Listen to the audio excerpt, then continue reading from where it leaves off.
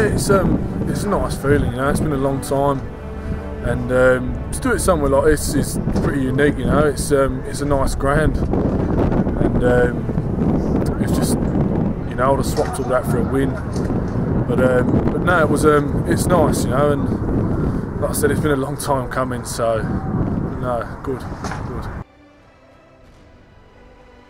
It's um, like I said, I didn't even know I was it was coming up. It was only that when I got here today that I knew it was my 150th, you know. But like I said, as a junior, I'd, I'd never dreamed of it, you know. And now it's finally here. It just makes me feel a bit older now, you know. So.